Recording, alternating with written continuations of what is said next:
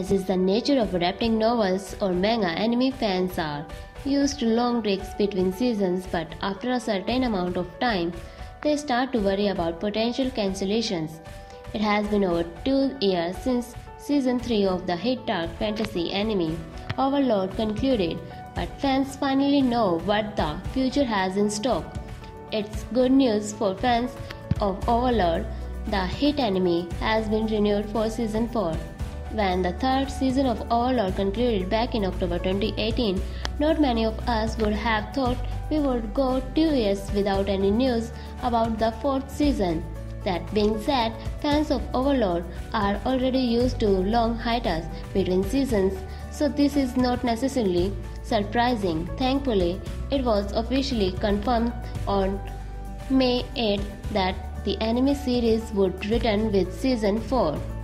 However, not many fans were surprised by this news, especially following the 2019 Animagic convention, when scriptwriter Kugane Maruyama revealed that season 4 was extremely likely to be produced.